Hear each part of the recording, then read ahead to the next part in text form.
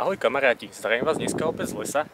Ako ste si mohli všimnúť, začala nám rásť takáto krásna mladúčka žihlava. No a dneska by som vám chcel dať jeden tip, ako si po zime trošku prečistiť organizmus za pomoci žihlavy. Stačí vám nazbierať 5 takýchto mladúčkých končekov stoniek žihlavy, aj s tými lístkami vlastne. No a budeme si dneska robiť vynikajúce žihlavové smoothie spolu s banánom a s vodou.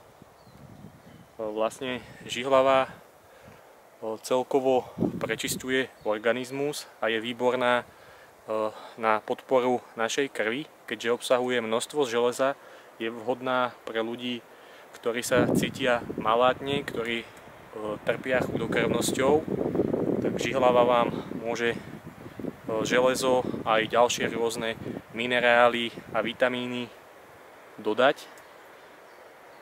Ako som už povedal, treba si nazbierať 5 takýchto stoniek žihlavy. No a ďalej si ukážeme, ako sa žihlavové smoothie pripravuje. Do smoothie mixera si dáme trošku vody. Hodíme tam jeden banán.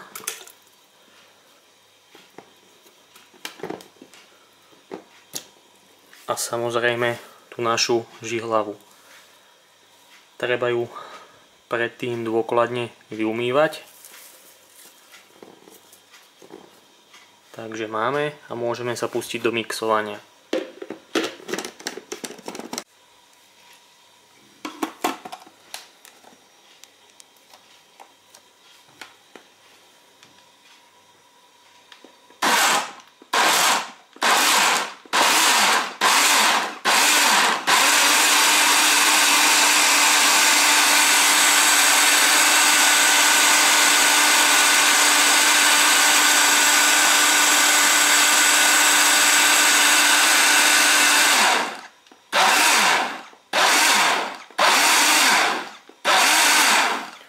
Smoothie sa nám už krásne rozmixovalo.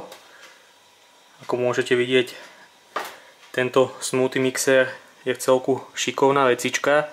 Osobne ho používame aj na mixovanie e, lesných plodov, napríklad lesné jahody, čučoriedky, po prípade plody zo zahradky. Spravíte si tak vynikajúci zdravý nápoj. Pokiaľ nemáte smoothie mixer, tak môžete použiť aj klasický mixer len e, pri tých niektorých to tak najebno nerozmixuje, preto odporúčam takýto smoothie mixer, pretože ten vám ten koktejl spraví úplne rozmixovaný do jemna.